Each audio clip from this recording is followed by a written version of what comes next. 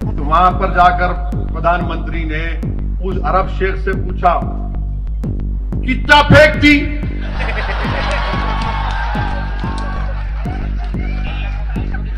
तो अरब शेख बोला, वल्लाही तुमसे कम फेंकती दूल्हे की बारात घर से निकलती, गैर के घर से नहीं निकलती। अरे दीवानों, याद रखो, दुनिया में कोई अभी तक पैदा नहीं हुआ जो पैसे की बुनियाद पर रसूल वसल्लम के गुलामों के गुलाम को दरे मोहम्मद वसल्लम के कुत्ते को कोई खरीद सके?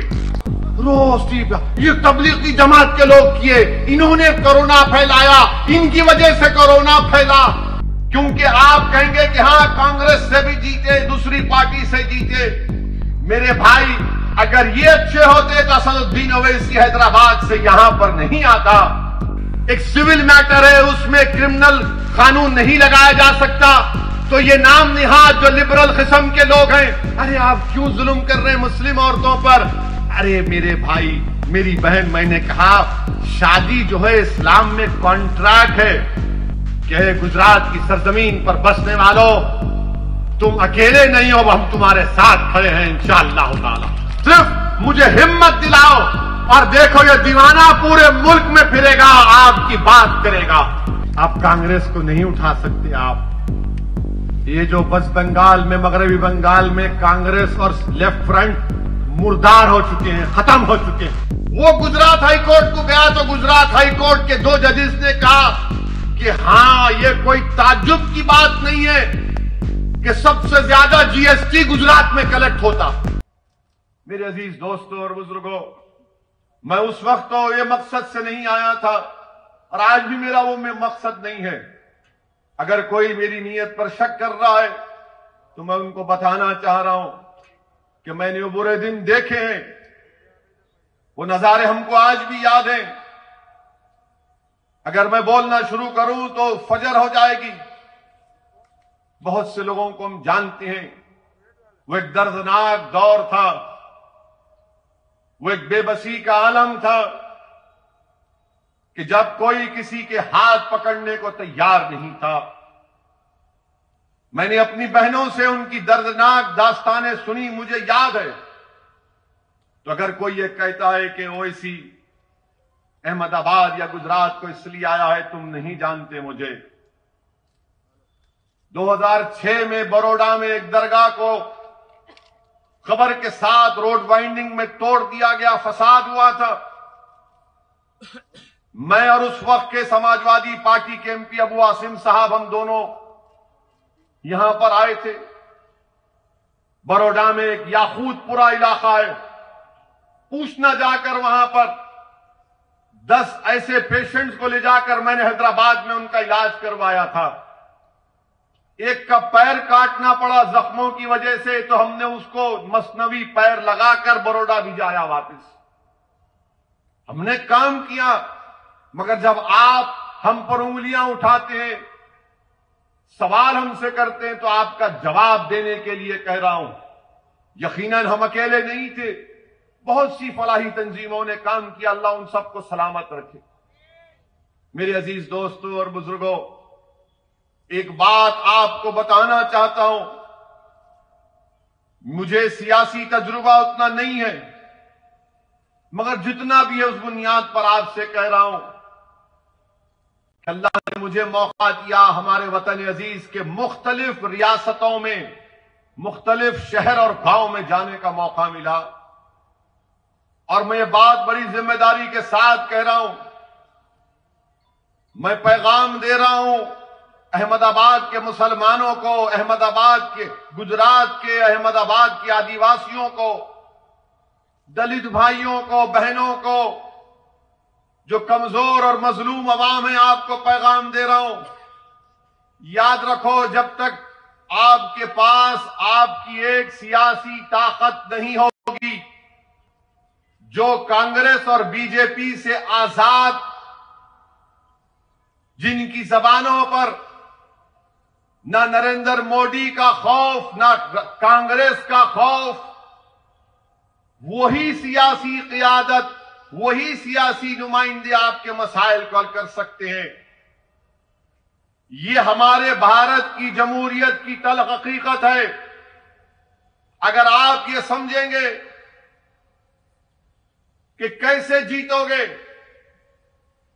क्या हासिल करोगे तुम असदुद्दीन ओवैसी? मैं आपको बचाने आया हूँ। तुम एक बार एक तो हो जाओ। तुम एक शीशा पिला हुई दीवार बन जाओ। तुम तमाम एक दूसरे के भाई और बहन बन जाओ, चाहे तुम मुसलमान हो, आदिवासी हो, दलित हो या गरीब हो, कमज़ोर हो। तुम एक दूसरे के गम को समझना सीख लो। तुम दूसरे का गम अपना गम समझो। किसी के सीने में तकलीफ़ होती तो ज़रूर है कि तुम्हारा दिल भी उसकी तकलीफ़ को महसूस करे। याद रखो, जब तुम ये कैफियत पैदा कर दोगे तो दुनिया की बड़ी बड़ी ताकतें तुम्हारे सामने आकर अपना सर झुकाएँगी और तुमसे पूछेंगी, बताओ तुमको क्या तकलीफ़ है, हम तुम्हारा काम करने को तैयार ये काम आप उसी वक्त करेंगे। जब इस आने वाले बल्दिया के चुनाव में 21 मंजलिस के जो उम्मीदवार हैं, आप अपना एक एक वोट देकर पतंग के निशान पर बटन या स्टैंप मारकर उनको कामयाब करेंगे। ये सियासी सफ़र का आगाज़ है। सिर्फ़ अहमदाबाद या गोधरा या दीगर मुकाम के बल्दी इलेक्शन तक ये सियासी सफ़र नहीं रुकने वाला है। अगर आपने थोड़ी सी हरकत की इतिहाद का मुजाहरा किया, और बेखौफ होकर पूरे इतमान और एतमाद के साथ मंजलिस का साथ किया तो यकीनन वो दिन दूर नहीं है जब हम असम्बली के इंतबात में हिस्सा लेंगे। असम्बली के इलेक्शन में मंजलिस के नुमाइंदे कामयाब होंगे। बीटीपी के उम्मीदवार कामयाब होंगे। और मुतहदा और मुश्तरका ताकत का मजाहरा गुजरात के असम्बली में किया जाएगा। जब तक कोई लड़ने वाला नहीं होगा, जब तक के कोई आपके मसाइल को बयान करने वाला नहीं होगा, क्योंकि आप कहेंगे कि हाँ, कांग्रेस से भी जीते, दूसरी पार्टी से जीते। मेरे भाई, अगर ये अच्छे होते तो असदुद्दीन अवैसी हैदराबाद से यहाँ पर नहीं आता। ये खराब है, ये डरते हैं मोदी से, ये डरते हैं आरएसएस से, इसलिए डरते हैं कि इनको खुदा पर एतमाद नहीं है। इनको अपनी जिंदगियों से मोहब्बत है। ये मौत से डरते हैं, वहन पैदा हो चुका है इनके दिलों में। मंजलिस का एक एक रुकन सिर्फ़ अल्लाह से डरता और कोई इंसान से हम नहीं डरने वाले हैं। चाहे कोई भी हो, वक्त का वज़ीर आज़म अगर नरेंद्र मोदी भी हो तो वजारत उजमा के अहदे की इज़्ज़त करते हैं। मगर नरेंद्र मोदी की शख्सियत से खौफ नहीं खाते, ना कभी खाएँगे इंशाला इज़्ज़त यकीनन वजारत उजमा के अहदे की है, मगर कोई कहे कि डरो नहीं, डरना नहीं होता। अगर कोई कहेगा, सर झुकाओ नहीं हो सकता, झुकाना उसके आगे है जो ज़मीन व आसमान का खालिक है। इंसान के आगे ना भीख मांगना, ना किसी के आगे सर झुकाना। तो क्या करेंगे आप? आप मुतहिद रहकर, भारत की जमहूरियत भारत का संविधान जिसको बाबा साहेब अंबेडकर ने बनाया, वो हमसे ये मुतालबा करता है कि ना तुम डरो, ना किसी के सामने भीख मांगो, बल्कि भारत का संविधान तुमसे ये पुकार पुकार कर कह रहा है कि अगर तुम आज़ादी चाहते हो, तुम मसावाद चाहते हो, तुम भाईचारगी चाहते हो, तुम इंसाफ चाहते हो तो सियासत में सिर्फ़ वोट डालने वाली मशीन मत बनो, बल्कि वोट को हासिल करो, लीडर बनो, गायक बनो, नेता बनो, और कौम के मसाइल को, चाहे वो कौम मुसलमान हो, आदिवासी हो, दलित हो, उनके मसाइल को, उनके पैगाम को लेकर आगे बढ़ो। ये पैगाम मंजलिस इतिहाद आपको देने आई है। और मुझे यकीन है कि इंशाला ताला आप इस पैगाम को मेरी इस बात को समझेंगे। मेरे अज़ीज़ दोस्तों और बुज़ुर्गों 21 बल्दिया की सीट पर हमारे उम्मीदवार यहाँ पर मैदान में हैं। लोग बड़ी बड़ी बातें करते हैं। मजलिस के मुखालिफिन, जहाँ पर मैं जाता हूँ, इस पूरे मुल्क में पूरे मुल्क के सियासतदानों में अगर सबसे ज़्यादा किसी को कोई गाली देता है तो दीवाना आपके सामने खड़ा है। हर कोई जो दिल में आ, बटते रहता है मेरे बारे में। लोग मुझसे पूछते कि तुमको फ़र्क नहीं पड़ता। मैं उनसे कहता हूँ कि हाँ, शुरू में पड़ता था, अब नहीं पड़ता। पूछिए, अब क्यों नहीं फ़र्क पड़ता? इसलिए कि इज़्ज़त देने वाला अल्लाह है। कामयाबी देने वाला अल्लाह है। ये इंसान लाख तुम मुझे गाली दे दो। तुम मेरी तरक्की को, मेरी का जमात की कामयाबी को नहीं रोक पाओगे। मेरे अज़ीज़ दोस्तों और बुज़ुर्गों, हम जहाँ कहीं भी अपनी सियासी जमात या अपनी पार्टी का आगाज़ करते हैं, फ़ौरन इल्ज़ाम लग दिया जाता है कि इनसे मिले हुए हैं, उनसे मिले हुए हैं। ऐसा लगता है कि ये हमारे, हमारी शादी कराना चाहते हैं कि नहीं नहीं, इसको, इससे शादी मत करो वो उनका मिलावा है, ये खराब है, ये फुला टीम है, बी टीम है, सी टीम है। अरे दीवानों, याद रखो, दुनिया में कोई अभी तक पैदा नहीं हुआ जो पैसे की बुनियाद पर रसूल अल्लाह सल्लल्लाहु अलैहि वसल्लम के गुलामों के गुलाम को और दरे मोहम्मद सल्लल्लाहु अलैहि वसल्लम के कुत्ते को कोई खरीद सके।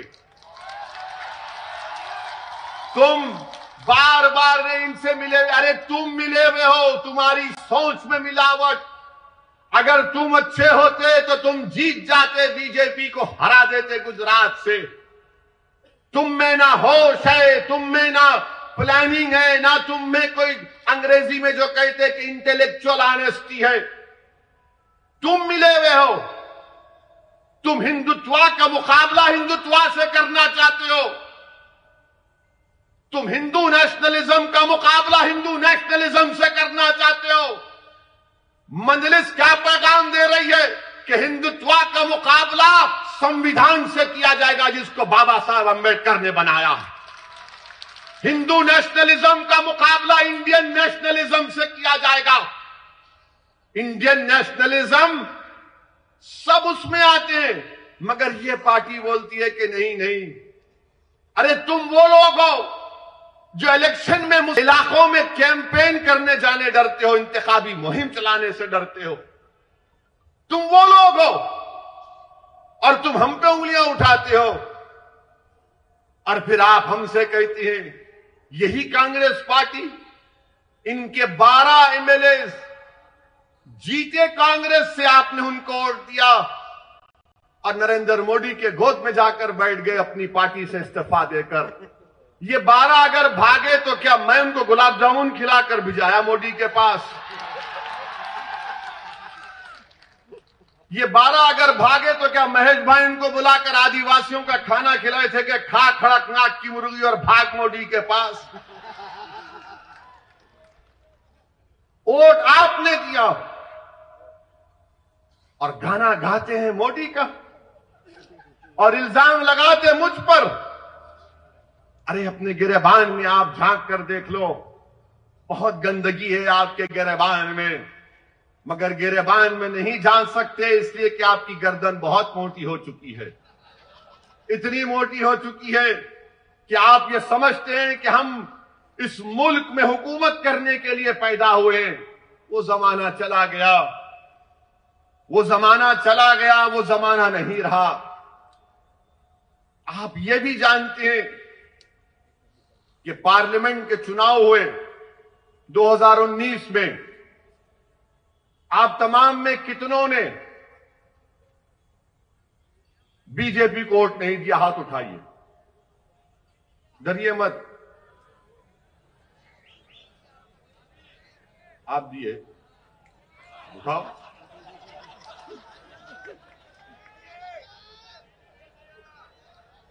नहीं दिए ना?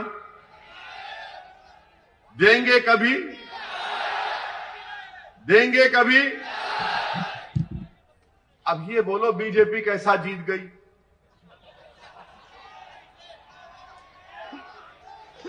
कैसा जीती बीजेपी?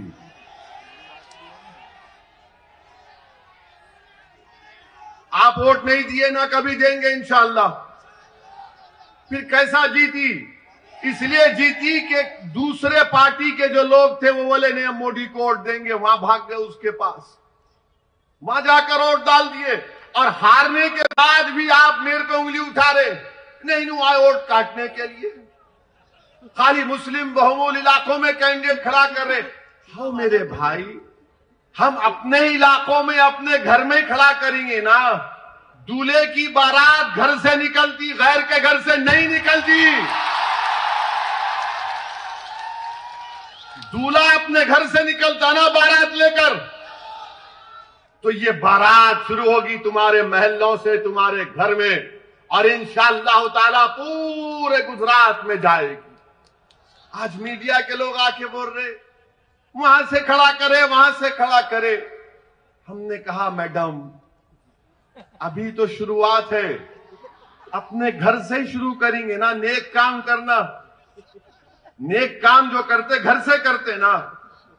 पहले घर के कमजोरियों को, बुराइयों को, उसको खत्म करके हम दूसरी जगह जाते। तो घर से शुरू करें। और मुझे यकीन है कि जो काम घर से शुरू जाता, शुरू किया जाता है, उसमें कामयाबी हमको इंशाला ताला आप देंगे और अल्लाह हमको कामयाबी समकिनार करेगा। मेरे अज़ीज़ दोस्तों और बुज़ुर्गों, यहाँ पर एक लंबी फेरिस्त है। कि तीन पचहत्तर गवर्नमेंट के स्कूल से अहमदाबाद म्यूनसिपल कॉरपोरेशन में ये जो लोग जीते आपकी ओर से, डेढ़ सौ ने स्कूल को बंद करवा दिया। डेढ़ सौ स्कूल बंद हो गए, जिसमें साठ गुजराती थे और नब्बत उर्दू मीडियम के स्कूल थे। ये भी क्या मेरे से पूछ के बंद हुए? आप में हिम्मत नहीं थी इन स्कूलों को खुलाने की। और फिर पीने का पानी दस्तियाब नहीं है। पचास साल, सत्तर साल पुरानी सूरेज ड्रेनेज की लाइन है। उस पर भी आपको कुछ करना नहीं है। ये रिवर फ्रंट है। मोदी जी, आपने रिवर फ्रंट तो बना दिया। मगर जो मुस्लिम और दलित इलाके हैं, वहाँ पर कौन सा काम करवाया? बताइए मोदी जी, आपकी पार्टी और क्या आपकी हुकूमत ने?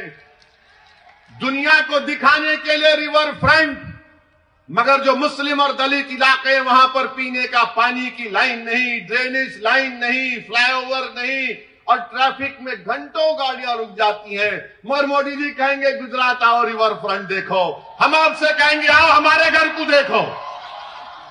हमारे इलाकों को देखो जहाँ पर दलित और मुसलमान बसते हैं। ये जो जीत कर गए, ये नहीं बोल सकते ये बात, क्योंकि इनको इजाज़त नहीं है अपने सियासी बाप के खिलाफ कोई बात करने की। फिर ये पिराना इलाका है, पूरा कचरा लाकर डालते वहाँ पर। पूरा कचरा लाकर डालते क्या बात सच नहीं है कि अट्ठाईस सितंबर 2020 को टाइम्स ऑफ़ इंडिया अखबार की रिपोर्ट है कि 12 साल 12 साल नेहा नाम की लड़की ज़िंदा उस कचरे के ढेर में दफन हो गई।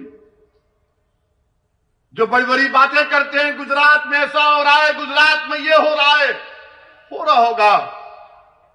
मगर कचरे के ढेर में अगर एक बारह साल की नेहा डूब कर मर जाती है, अपने भाई के साथ गई, क्यों गई? वो इसलिए गई कि वहाँ पर खिलौने तलाश करना चाहती थी। कचरे के ढेर में नेहा बारह साल लड़की अपने भाई के लिए, अपने लिए खिलौने तलाश करना चाहती थी और अपनी जान खो दी। रिवर फ्रंट भी है और वो पिराना का कचरों का अंबार भी है।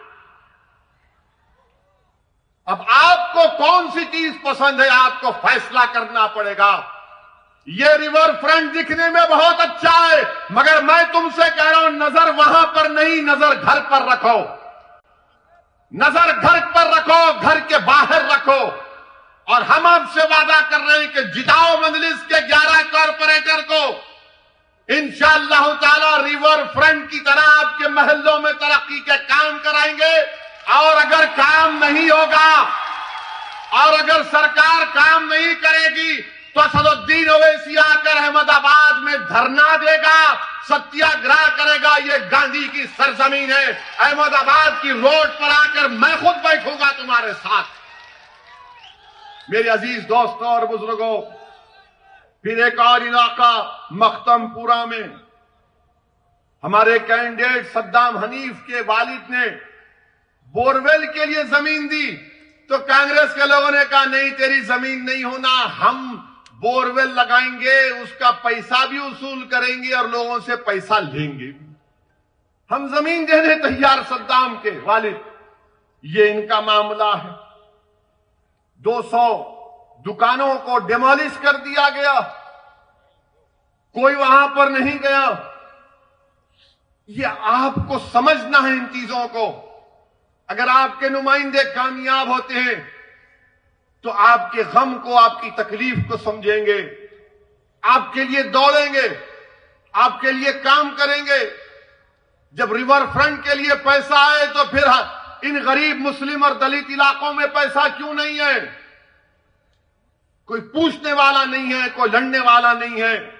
मेरे अज़ीज़ दोस्तों और बुज़ुर्गों, इन चीज़ पर आपको गौर करके किस तारीख को एक तारीखी फैसला आपको लेना है और अहमदाबाद की आसमानों में इंशाला ताला अब आपको पतंग को पिलाना है और सिर्फ़ हर जगह इक्कीस तारीख के दिन लोग ये बता देना कि हाँ, हमारे महल्लों में, हमारे घर में, हमारे इलाकों में सिर्फ़ पतंग ही पतंग चल रही है। दूसरा कोई वहाँ पर नज़र नहीं आना चाहिए। मेरे अज़ीज़ दोस्तों और बुज़ुर्गों मैं एक बात शुरू में कहना चाहता था, जो जहन से निकल गई। मैं अल्लाह से दुआ करता हूँ कि उत्तराखंड में जो सैलाब आया है, धौली गंगा नदी में, जिससे कई लोग अभी भी फंसे हुए हैं, हम अल्लाह से दुआ करते हैं कि उत्तराखंड में अल्लाह वो तमाम लोग जो उस सैलाब में फंसे, अल्लाह उन तमाम को राहत दे, अल्लाह उनकी जानों को बचाए। और हम अल्लाह से दुआ करते हैं कि अल्लाह जल्द से जल्द उनको उस तकलीफ़ और मुसीबत से निजात दे। मेरे अज़ीज़ दोस्तों और बुज़ुर्गों, एक और बात जो बीजेपी की गवर्नमेंट कहती है कि हमने गुजरात में ऐसा कर दिया, वो कर दिया। गुजरात की हाई कोर्ट पाँच फरवरी को एक केस आया। और उस केस में गुजरात हाई कोर्ट के दो जजेस ने क्या कहा?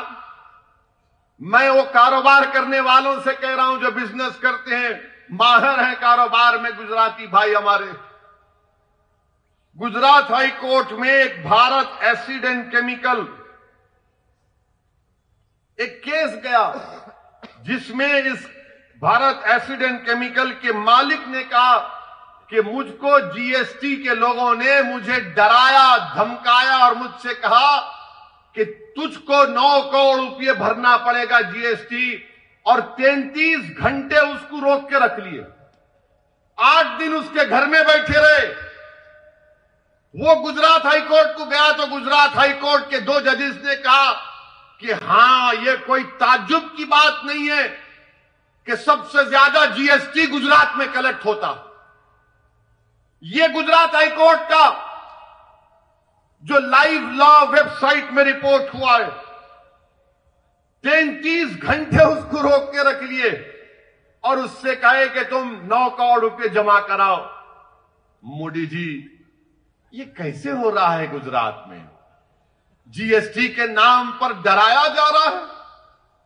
कारोबार करने वालों को कमज़ोर किया जा रहा है? ये गुजरात का। अब आप आ जाइए, बहुत लंबा रिकॉर्ड है इन लोगों का। एक और रिकॉर्ड है, माशाल्लाह। आपको जानकर गम होगा कि जो बच्चों में एनीमिक होते हैं, जिसमें खून की कमी होती है, जो छह महीने से पाँच साल के बच्चे गुजरात में छह महीने से पाँच साल, खुद मोदी हुकूमत की रिपोर्ट अब भी आई। National family health survey five. ये कहती है कि 80 फ़ीसद गुजरात में छह महीने से पाँच साल के बच्चों में खून की कमी एनीमिक बताओ मोदी जी, ये कैसे हो रहा है? तो मोदी जी बोलेंगे, मैं छोड़ के चला गया ना, इसलिए हो रहा है। हो सकता भाई, मज़ाक। मोदी जी खुद बोले कि कभी कभी ह्यूमर करना चाहिए, मज़ाक करना चाहिए। सीरियस मत लीजिए संघ परिवार वालों। फिर एक और बात, जो बच्चे स्टंटेड होते हैं, यानी जिनकी उम्र के लिहाज से हाइट होना कम वेस्टेड यानी उनका वेट जो होना वो कम, वज़न कम होता है, वो 38 से 39 परसेंट हो गया। गुजरात तरक्की कर रहा है। जो हमारी बहनें जिस उम्र में आकर बच्चे पैदा करती हैं। पैंसठ फ़ीसद वो महिलाओं को एनीमिक है, खून की कमी है। गुजरात तरक्की कर रहा है। अच्छा ये बोलते हैं कि वर्क पार्टिसिपेशन रेट कितना है मुसलमानों का? 61 परसेंट है। कितना है हमारे हिंदू भाइयों का? 71 परसेंट है। ये गवर्नमेंट ऑफ़ इंडिया का रिकॉर्ड है, मैं नहीं बनाया हूँ। मैं संघ परिवार और बीजेपी से पूछना चाहता हूँ, ये डिफरेंस क्यों है वर्क पार्टिसिपेशन रेट में? मुसलमानों का भी 71 परसेंट होना चाहिए ना। क्यों नहीं करते आप? इसलिए नहीं करते कि कोई लड़ने वाला नहीं है, कोई पूछने वाला नहीं है। अच्छा आपको मालूम कितने मुसलमान मैट्रिकुलेशन करते हैं गुजरात में? 26 फ़ीसद खाली।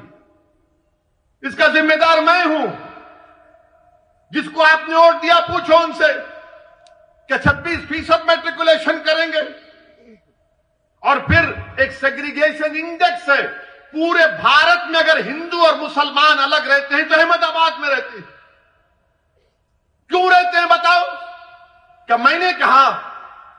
मिलाओ ना मोदी जी। क्यों नहीं मिलाते आप? ये सेग्रीगेशन इंडेक्स कहता है मेरे अज़ीज़ दोस्तों और बुज़ुर्गों, गुजरात में अमन है। ये कहते हैं, मोदी जी का नेशनल क्राइम रिकॉर्ड्स ब्यूरो का डेटा है।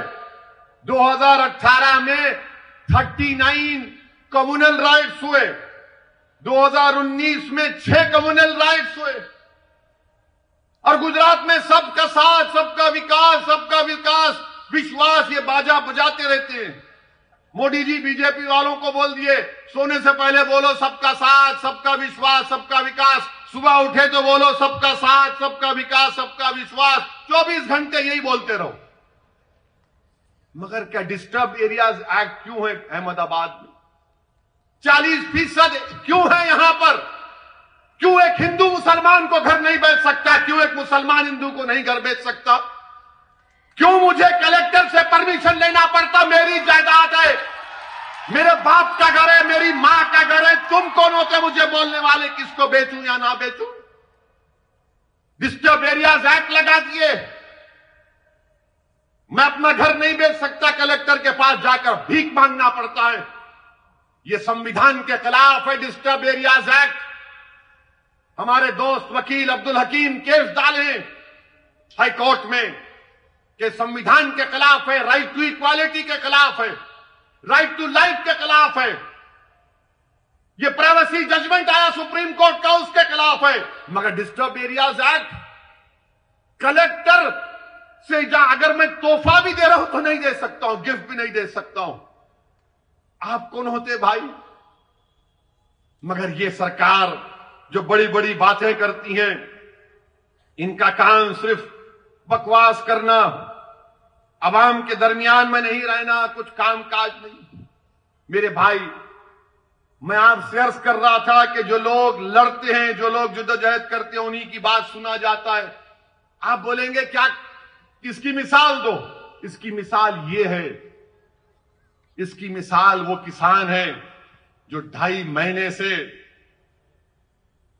पंजाब और हरियाणा के बॉर्डर पर बैठा हुआ है।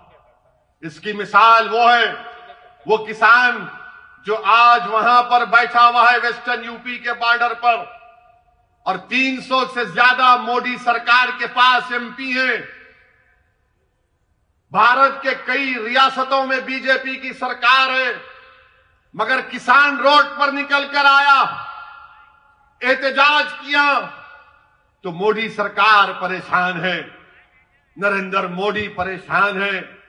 अमित शाह परेशान है, बीजेपी परेशान है, संघ परिवार परेशान है कि ये क्या हो रहा है, सबक क्या है, पैगाम क्या है कि एहतजाज करना जमहूरियत के लिए ज़रूरी है, किसानों ने हमको बता दिया। एहतजाज किए तो मालूम हुआ कि हुकूमत परेशान हो जाती है। तो इसीलिए मैं आपसे अपील कर रहा हूँ कि हरकत करना पड़ेगा ज़िंदा अगर हैं तो ज़िंदगी का सबूत सिर्फ़ खामोश बैठकर आँख में आँसू लाने से नहीं दिया जाता। ज़िंदा है तो ज़िंदगी का सबूत देना है तो एहतजाज करना पड़ेगा। सदा एहतजाज को बुलंद करना पड़ेगा। जमीर की आवाज़ पर अपनी जबान से नारे लगाना पड़ेगा। अगर दिल जलता है तो अपनी जबान पर लाकर हुकूमत के वानों में बताना पड़ेगा। नाइंसाफी नज़र आती है तो नाइंसाफी का जमहूरी तरीके से खातिमा करना पड़ेगा। हक चाहते हो तो याद रखो, सिर्फ़ पुकारने से कोई हक नहीं देता कि मेरा हक दे दो, हक दे दो। हक को लेना पड़ता है। अगर कोई इकतदार की कुर्सियों पर बैठकर तुमको तुम्हारा हक नहीं देता तो जमहूरियत तुमको इस बात की इजाज़त देती है कि उन जालिमों से अपना हक छीनो और संविधान को जमहूरियत को मज़बूत करो। मेरे अज़ीज़ दोस्तों और बुज़ुर्गों, ये पैगाम मैं आपको देने आया हूँ कि जहाँ तक किसानों की बात है मैं अहमदाबाद से भी हमारे किसान भाइयों को पैगाम दे रहा हूँ कि हम आपके साथ हैं, आपकी जिद्दोजहद हक बजानी है, आपके मुतालबात बिल्कुल सही हैं, जो तीन कानून नरेंद्र मोदी की सरकार ने बनाए, वो भारत के संविधान के खिलाफ है। एग्रीकल्चर संविधान में स्टेट लिस्ट में आता है। और नरेंद्र मोदी की सरकार को कोई अख्तियार नहीं था कि वो उस कानून को जो स्टेट लिस्ट में आता, उस पर कवानीन बना सके। एग्रीकल्चर मिनिस्टर बोलते हैं, तोमर साहब, इसमें क्या काला है दिखाओ। अरे काला उसमें यह है कि भारत के संविधान के खिलाफ है। जो कानून बनाने का अख्तियार आपको नहीं है, आप कैसे बनाए कानून? अब जो किसान एहतजाज कर रहे तो बोले ये खालिस्तानी है, क्योंकि वो पर सीख है। वो खालिस्तानी हो गया वो किसान, जो घंटों खेत में रहता है, फ़सल उगाता है, ताकि आप और हम खा सके, वो खालिस्तानी हो गया। आदिवासी दलित नक्सल हो गया, मुसलमान जिहादी हो गया। अब बचे कौन? बचे खाली मोदी जी वही दूध के धूले हैं, हम सब गुनागार कोई है ही नहीं ना अब। अब मोदी जी का मामला यह है कि वो कहते हैं कि नो, कोई एहतजाज मत करो। मैं जो ज्ञान देता हूँ, वो ज्ञान को सुनो। मैं मन की बात बोलता हूँ, सुन लो, अमल कर लो। मोदी जी, मन की बात सुनने से गरीब का पेट नहीं भरता। गम, मन की बात सुनने से किसानों का गम दूर नहीं होगा। मन की बात सुन सुन के हम बोर हो चुके हैं। अब आप किसानों की मन की बात समझो। अगर मोदी जी इंसाफ करना चाहते हैं, वो खुद कहते हैं कि मैं गुजरात की गरीब परिवार से उठकर आया हूँ। अगर आप गरीबों का गम समझते हैं तो अपने घर में उन किसानों को बुलाइए। जिस तरह आपने बराक ओबामा को बिठाकर अपने हाथ से चाय पिलाकर ओबामा को दिया अच्छा किया मेहमान था जब आप मेहमान को बुलाकर चाय पिला सकते हैं, अरे ये तो भारत के किसान है ना मोदी जी। आप उनको बुलाइए अपने घर में। एक दस बारह को बुलाइए, चाय पिलाइए, उनको गले से लगाइए और सिर्फ़ इतना कहिए कि हम तुम्हारे गम को समझते हैं। अब तुम्हारे आँख में आँसू नहीं आएगा। देखो, वो किसान आपको अपने गोद में बिठा लेगा, अपने सर पर बिठा लेगा। मोदी जी, आप किसानों के इस तकलीफ़ को आपकी हुकूमत को समझना पड़ेगा। लोग मुझसे सवाल करते हैं कि वो किसान का नेता रोया तो पूरे किसान जज्बात में आ गए। मेरे भाई, यही तो मैं कह रहा हूँ कि जिसके अजाइम में सच्चाई होती है, जो अखलास की बुनियाद पर काम होता है कुदरत उसकी मदद करती है। कोई सोच भी नहीं सकता था कि किसान उठेगा और किसान उठा है। अच्छा ऐसा उठाए कि नरेंद्र मोदी की सरकार किसानों को रोकने के लिए कीले लगा दिए। कीले लगाए। पुलिस का काम लॉ एंड ऑर्डर का पुलिस हाईवे खोद रही है, दिल्ली पुलिस। हाईवे खोद के कीले लगाए। और पुलिस वालों को वो लंबे लंबे, क्या बोलते हो, वो आयरन के रॉड दिए। मोदी जी आपसे एक अपील कर रहा हूँ, बुरा मत मानिए। अगर यही कीले आप लद्दाख में लगा देते तो चीन की फौज नहीं आती। यही आप खोद के रख देते तो गलवान में पीपी एटीन पे आज भी हम जाकर अपनी फौज को भिजा सकते थे। मोदी जी, वहाँ पर कीले नहीं लगाए आपने। क्यों? क्यों नहीं किया आपने लद्दाख में? 18 भारत के सेना के लोग शहीद हो गए। प्रधानमंत्री, अगर छप्पन इंच का सीना है तो चीन को सबक सिखाना था। अब चीन क्या कर रहा है? एक हज़ार स्क्वायर किलोमीटर ज़मीन जो भारत के एलएसी में चीन कब्जा करके बैठा है। और मोदी जी बोलते हैं, भाइयों बहनों, सबका साथ, सबका विश्वास, सबका, ना कोई था, ना कोई रहेगा। एक हज़ार स्क्वायर किलोमीटर पर चीन की फौज भारत के एलएसी की ज़मीन पर बैठी है। अरुणाचल प्रदेश में गाँव बसा दिए भारत की ज़मीन पर। सिक्किम में नकुला में चीन की फौज।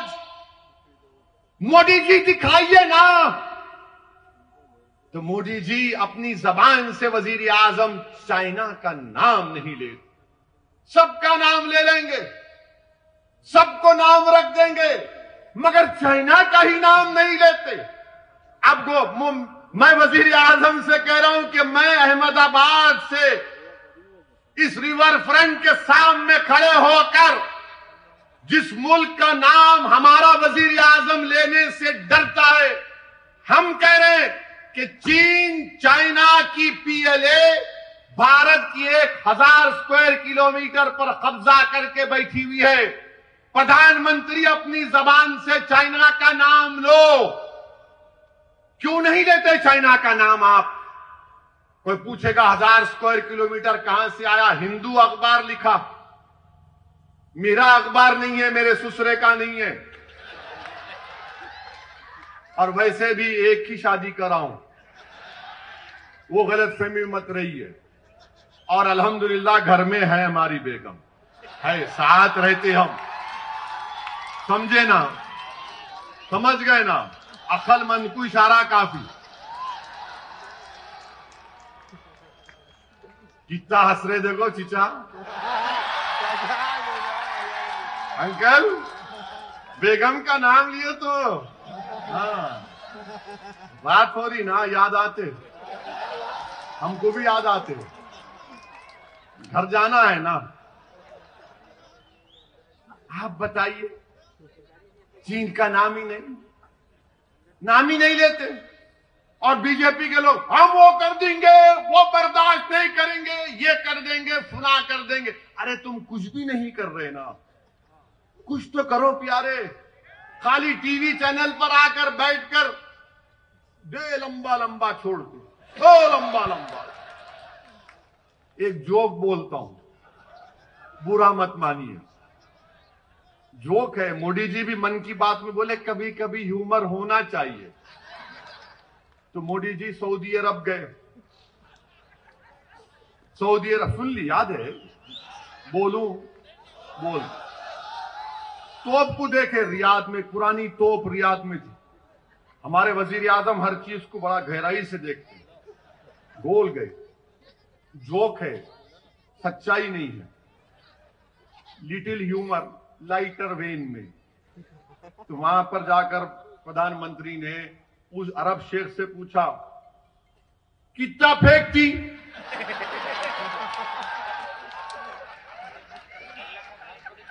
तो अरब शेख बोला, वल्लाही तुमसे कम फेंकती जो है ह्यूमर है। मेरे को मालूम मीडिया के लोग बड़े नाराज़ हो रहे हैं। कैसा बोले? अरे भाई, बोले। आप भी इंजॉय करो। वरना हमारे मीडिया के लोग कल सुबह नौ बजे से ओवैसी का भड़काऊ भाषण हुआ था अहमदाबाद में। देश के प्रधानमंत्री को बोला है। ऐसा बोलते जैसा कि इनके पप्पा को बोले। प्राइम मिनिस्टर है, मेरा भी प्राइम मिनिस्टर है, मेरा भी हक बनता है क्रिटिसाइज करने का। हम प्रधानमंत्री है तो खुदा नहीं है, हम क्रिटिसाइज भी करेंगे, सवाल भी पूछेंगे। मगर मीडिया के लोग हाँ कैसा बोले? वो अंग्रेज़ी में कहावत है ना more loyal than the king इनको बड़ी तकलीफ़ हो जाती मीडिया वालों। अब मार्च के बाद अपनी नौकरी की फ़िक्र करो। तुम्हारी नौकरियाँ जाने वाली हैं, अल्लाह तुमको बचाए। मार्च के बाद ये सब जाने वाले हैं बहुत की नौकरियाँ जाने वाली, अभी जा रही है। ये मीडिया के लोग जानते, देखो, मुंडिया हिला रही, यूँ कर रहे। बोल नहीं सकते, ना खाली, ऐसा करे तो समझ जाना हम आपके साथ है। मार्च के बाद पूरी जाने वाली है नौकरियाँ। नौकरियाँ नहीं रहे, बाहर बहुत बुरा हाल है। मोदी जी से आप पूछो, देश की इकोनॉमी क्या हो रही मोदी जी? तो एक कार्टून है, अखबार का मैं नहीं कराया हूँ वो कार्टून में मोदी जी का कार्टून है, फ़ोटो है। लोगों ने सवाल किया, क्या हो रहा है देश में? तो मोदी जी ने कहा, मित्रों जीडीपी दौड़ रहा है। तो जीडीपी क्या है? गैस की कीमत बढ़ गई, डीजल की कीमत बढ़ गई, पेट्रोल की बढ़ गई। मोदी जी कह रहे, देखो जीडीपी दौड़ रहा है। अब ये तकलीफ़ किसी को नहीं हो रही। पेट्रोल की कीमत बढ़ते जा रही है। डीजल की कीमत बढ़ते जा रही है। और भी बढ़ गया, बजट आया तो रुकने का नाम ही नहीं है। मगर जो मोदी जी के भक्त है, नहीं नहीं, क्या होता? हमारी गाड़ी में पेट्रोल नहीं, हमारी गाड़ी में हवा से चलती। मगर गरीब की गाड़ी तो हवा से नहीं चलती, गरीब की मोटरसाइकिल हवा से नहीं चलती। गरीब की गाड़ी मोदी की मोहब्बत से नहीं चलती, गरीब की गाड़ी पेट्रोल और डीजल से चलती। जिसको कारोबार करना है, वो तो बर्बाद हो रहा है। लॉकडाउन लगाया आपने। Unconstitutional lockdown. लॉकडाउन के लिए मोदी जी ने कहा, रात में आठ बजे आए, मैं बोला, गया काम। अब लोगों को हैबत होती, रात में आठ बजे वज़ीर आज़म आए तो अब क्या करने वाले हैं भाई? बोले भाइयों बहनों लॉकडाउन। कितने घंटे का टाइम दिया चार घंटे। चार घंटे में लॉकडाउन हो गया। और लॉकडाउन लिफ्ट करने के लिए मोदी सरकार देती है आपको आठ दिन का टाइम। लॉकडाउन लगा, गरीब पिट गया। बर्बाद हो गया गरीब। नौकरियाँ चले गई, कारोबार बर्बाद हो गया, भूखमरी के शिकार हो गए लोग। आपको मालूम, इनफॉर्मल सेक्टर में, भारत में 10 करोड़ नौकरियाँ चले गई। करीब 25-30 लाख फॉर्मल सेक्टर की तनख्वाहें लोगों की कम हो गई। मगर कोई बोलता ही नहीं है ना। क्यों नहीं बोलते तुम ये बात बताओ हमको? हम क्यों बोले, तुम क्यों नहीं बोलते? तुम्हारी जबानें क्यों रुकी हुई हैं बताओ? और पूरे मुल्क में कोरोना चल रहा। लॉकडाउन आपने गलत किया। जनवरी के आखिरी हफ़्ते में पहला कोरोना का पेशेंट केरला में आया, इटली से आए थे। जब पूरा कोरोना बढ़ गया तो देखे किसको बली का बकरा बनाओ? तबलीगी जमात को बना दिया। क्या कहा? ये तबलीगी जमात के लोग कोरोना जिहाद कर रहे। माशाल्लाह मोदी जी, आपके लोगों ने तो कोरोना को भी कलमा पढ़ा दिया अशदुल्ला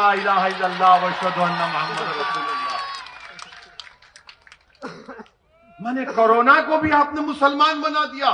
क्या दिमाग है आप लोगों का? माशाल्लाह, अल्लाह नज़र बद से बचाए, ये दिमाग और बढ़ता रहे। तबलीगी जमात के लोगों को ले जाकर, पकड़ पकड़ कर, पकड़ पकड़ कर, वहाँ डाल, यहाँ डाल, और टीवी पर तो माशाल्लाह टीवी ये तबलीगी जमात के लोग किए। इन्होंने कोरोना फैलाया। इनकी वजह से कोरोना फैला। और हमारे हिंदू भाइयों को ये बता दिया, देखो मुसलमानों की वजह से कोरोना फैल गया। और हमारे हिंदू भाई बेचारे शरीफ हैं। मोदी जी जो बोलते, यकीन कर लेते, अरे हो सकता भाई ये ये चेहरे पे टोपी, सर पे दाढ़ी कुर्ता पैजामा टखने के ऊपर पैजामा हाँ ये करे होंगे। इनको क्या ज़रूरत थी?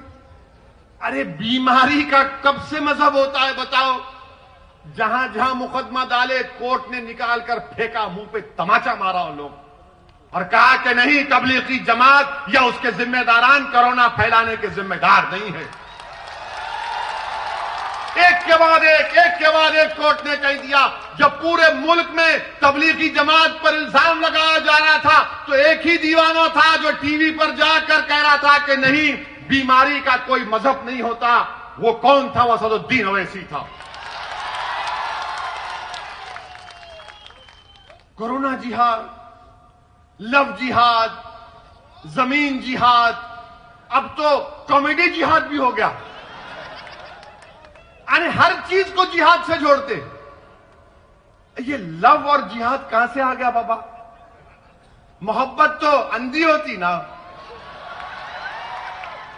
बहुत से लोग किए होंगे, सर से चीखा मार रहे करना भी चाहिए, बगैर मोहब्बत के कोई इंसान नहीं रहता, याद रखो। अल्लाह हमको जज्बात दिया, मोहब्बत करना ज़रूरी है, और सबसे पहली मोहब्बत करना है तो मगर ये लोग लव जिहाद लव जिहाद। अरे कह का लव जिहाद, बाबा? या खाने को खाना नहीं है, नौकरियाँ नहीं है। मगर आप लव जिहाद, कोरोना जिहाद, क्या कर रहे हैं आप देश में? कितनी नफरत फैलाएँगे मुसलम मुसलमानों के बारे में? नहीं, ये करे। अरे क्या करे बताओ ना तुम। क्या कोई कोरोना से जिहाद करता है? लखनऊ में आंध्र प्रदेश की एक जमात गई, जिसमें हमारी एक बहन थी।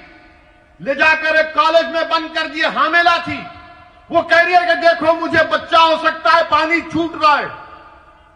आकर धक्का दिए, उसका हमल साकित हो गया। बताओ आप, कई वाकयात है। किसी एक रियासत में एक बच्चा गया, उसको हर पूरे लोग टीवी पर देखकर बोले, तू तबलीग का है तबलीग का है। वो बेचारा तंग आकर खुदकुशी कर लिया। आप बताइए, देश कहाँ जा रहा है? कितना आप नफरत फैलाएँगे? मोदी जी मैं आपसे एक मोटा सवाल कर रहा हूँ। आपकी सरजमीन में खड़े होकर। चाइना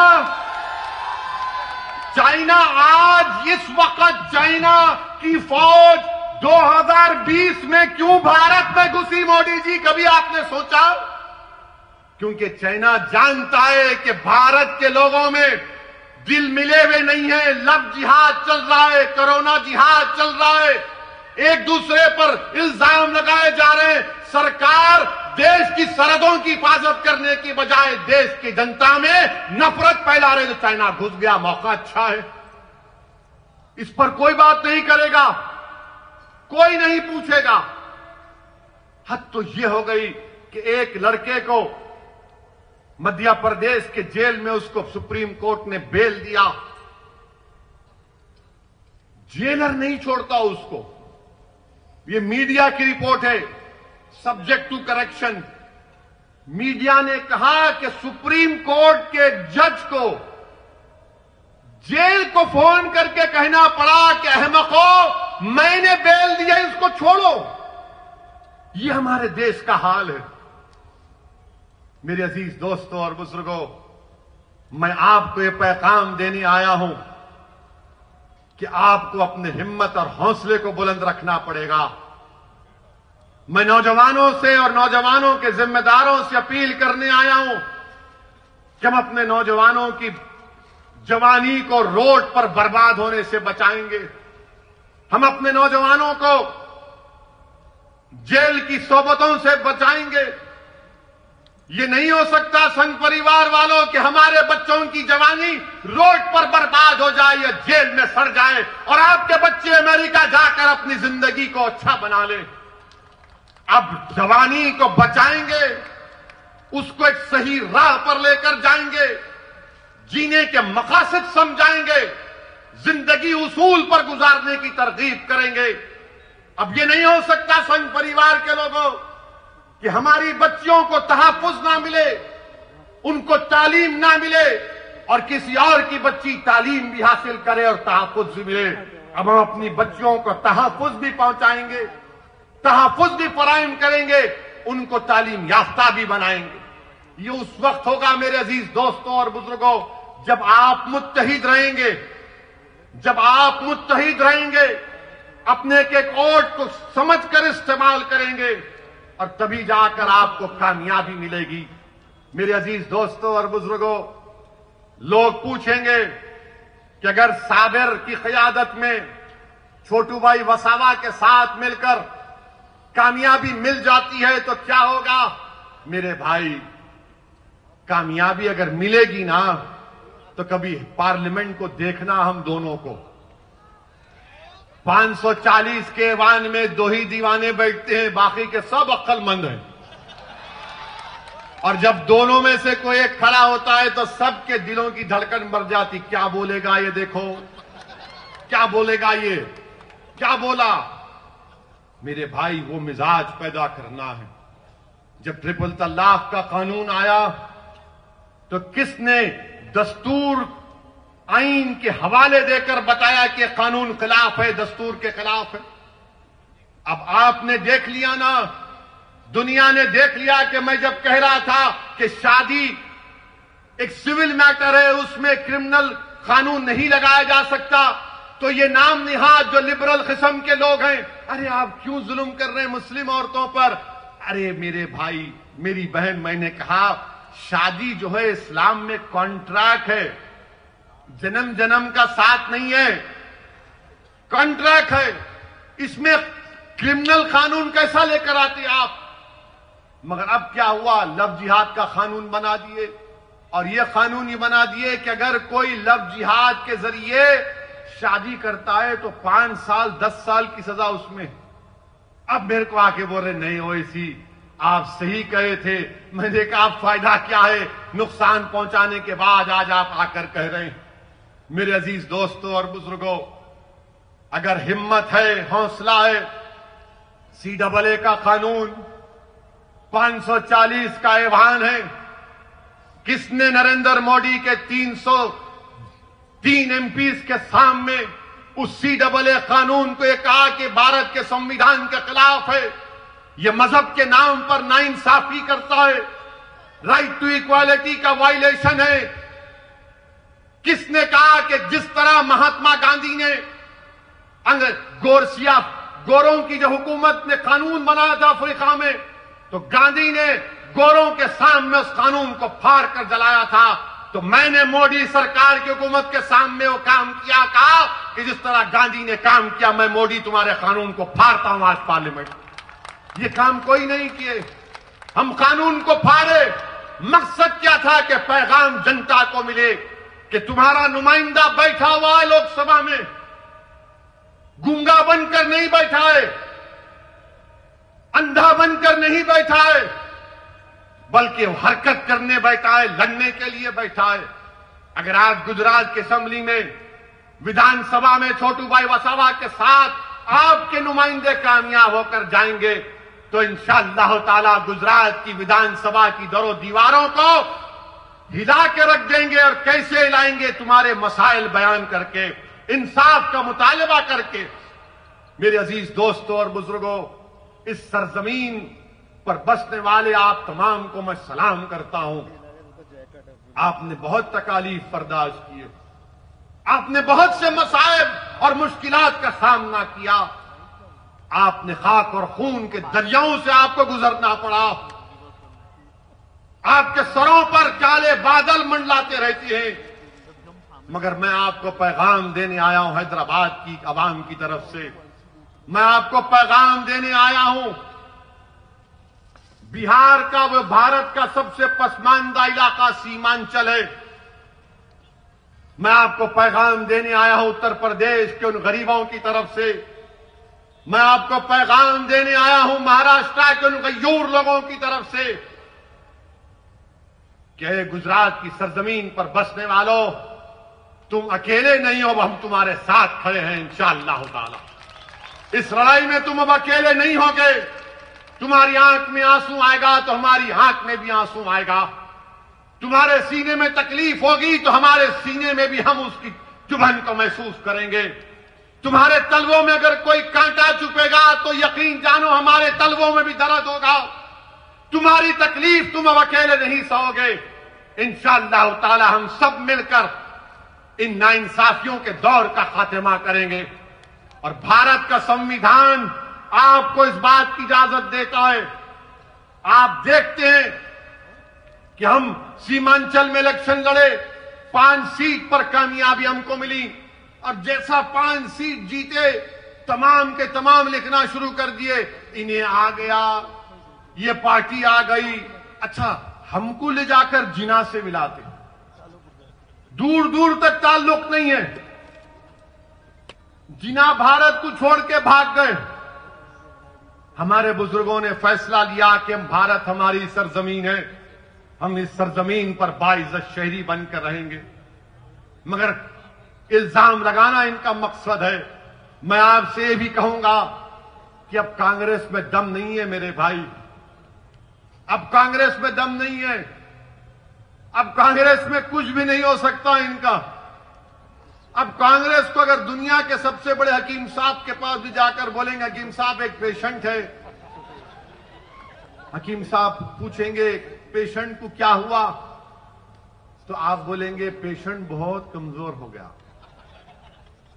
हकीम साहब बोलेंगे पेशेंट का नाम तो आप बोलेंगे कांग्रेस। हकीम साहब बोलेंगे, बेटा, मेरे पास उसके लिए कोई दवा नहीं है। आप कांग्रेस को नहीं उठा सकते आप। ये जो बस बंगाल में, मगरबी बंगाल में कांग्रेस और लेफ़्ट फ्रंट मुर्दार हो चुके हैं, खत्म हो चुके हैं। वहाँ वेस्ट बंगाल के लोग भी कह रहे हैं कि आओ मंदलिस को लेकर आओ। हम एक विकल्प देख रहे हैं मंदलिस के रूप में। क्योंकि टीएमसी और बीजेपी एक सिक्के के दो रुख हैं। हर जगह पर कांग्रेस खत्म हो चुकी है। राहुल गांधी हार गए अमेठी। कहाँ जाकर जीते? वायनाड में, जहाँ पर 35 फ़ीसद के करीब अकलियतें हैं। और कांग्रेस पार्टी के गुलाम, हम पे कहते हैं कि वो ऐसी वोट काटने को आया है। अरे मैं किसी को काटने नहीं आया हूँ। कुत्ता काटता है, मैं इंसान हूँ। मैं दिलों को मिलाने आया हूँ। और इंशाअल्लाह ताला हम दिलों को मिलाकर रहेंगे। मेरी आपसे एक ही गुजारिश है कि साबिर साहब के हाथ को मज़बूत करिए, छोटू भाई वसावा के हाथ को मज़बूत करिए। अपने लिए एक बार आप एक फैसला लेकर आगे बढ़िए मेरे भाई। ये जमात आपकी है। बरसों आपने मुख्तलिफ़ पार्टी को वोट दिया। आज आपके दरमियान में आपकी पार्टी है। जो आपकी तकलीफ़ को, आपके गम को समझती है और आपको अपनी पार्टी के लिए खुद आप कैंडिडेट हैं, ये इक्कीस उम्मीदवार नहीं है, आप कैंडिडेट हैं। इसीलिए मैंने कहा कि बारात तुम्हारे घर से निकलेगी, आपके घर से निकलेगी, आपको अपने पूरे या खानदान को लेकर 21 तारीख को जाना है पोलिंग बूथ को, अपना एक एक वोट का इस्तेमाल करना है। और इंशाअल्लाह ताला गुजरात की सरजमीन पर हम एक नई तारीख रकम करेंगे इंशाअल्लाह ताला। और हम यहाँ पर एक नई तारीख लिखेंगे जो गुजरात को मज़बूत करेगा, जो गुजरात में भाईचारगी में इजाफा करेगा, जो अहमदाबाद में टूटे हुए दिलों को मिलाएगा। मैं आपसे अपील कर रहा हूँ कि अब शक की बुनियाद पर फैसले नहीं होंगे, बल्कि पूरे ताउन और कॉपरेशन की बुनियाद पर आपको फैसले करना है और इंशाअल्लाह ताला और भी जलसे होंगे। ये पहला जलसा है, इंशाअल्लाह ताला अहमदाबाद में। मैं आपके घर में आऊँगा, आपके घर में बैठूँगा। अगर आप चाय पिलाए तो चाय भी पी लूँगा। अगर आप दूध पिलाए तो दूध भी पी लूँगा। अगर आप कुछ भी नहीं करे, सिर्फ़ मेरे सर पे हाथ रख दो। सिर्फ़ मुझे हिम्मत दिलाओ। और देखो ये दीवाना पूरे मुल्क में फिरेगा, आपकी बात करेगा। मुझे किसी चीज़ की ज़रूरत नहीं, अल्लाह जानता है। मैं जब तक ज़िंदा हूँ, ना इंसाफी के खिलाफ लड़ना मेरी ज़िंदगी का मकसद है। मजलूमों का साथ देना मेरे ज़िंदगी का नजबुलैन है। इंसाफ के लिए लड़ना, यही लड़ते लड़ते चला जाऊँगा। क्योंकि अल्लाह मुझे बहुत कुछ दिया है। मगर जब ये नाइंसाफियों को देखता हूँ तकलीफ़ होती है, दिल मिलाहट महसूस करता हूँ, गुस्सा आता है। मगर मेरे अज़ीज़ दोस्तों और बुज़ुर्गों, अब इस गुस्से को जमहूरी तरीके से हमको अपने मुकद्दर के फैसले करना पड़ेगा। मंजलिस का साथ दीजिए, पतंग के निशान पर बटन दबाइए, और 21 तारीख के दिन नौजवानों, पतंग लेकर खींच मारते हुए जाना हर चीज़ को। कोई इंशाअल्लाह ताला आपकी ताकत आपके जज्बे के खिलाफ कोई सामने नहीं ठहरेगा। शुक्रिया। वाकर दावा अलहमदुल्ला रबीआलमी